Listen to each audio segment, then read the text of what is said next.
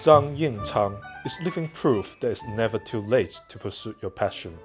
He moved to Shanghai from his hometown of Ningbo in the 1940s. After a long career as a civil servant, Zhang embarked on his second act with something true to his roots. 退休以后呢，我感觉到自己呢还有点劲道。那么我家里讲不要这么做事呢，我想要创业。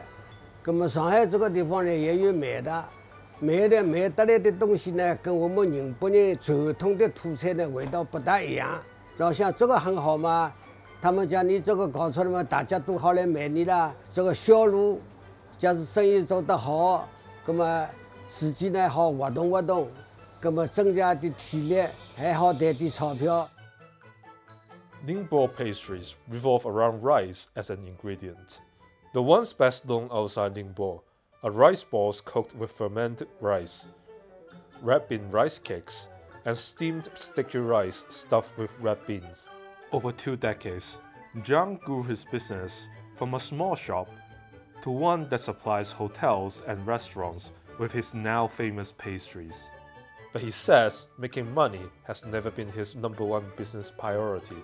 那么做生意赚钞票，当然要赚钞票。没有赚钞票，你生意也不要做。 但要做赚钞票，你要赚良心钞票，要珍贵一些。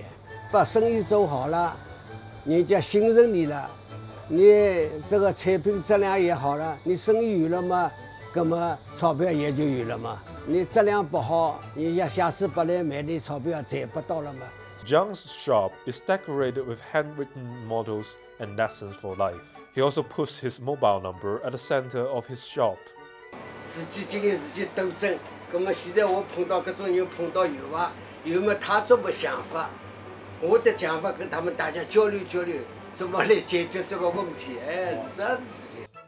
When asked about his recipe for life, Zhang says his philosophy is to start with a healthy foundation. 身体有好处嘛，你生财劲道也有了，生财劲道有了嘛，你生意也做得好了，生意做得好了嘛，钱也就有了，钱有了嘛，也是心情愉快了，身体倒反而好了。所以一方面搞工作，一方面也。锻炼自己的身体，加起来，我这样子想的，哎。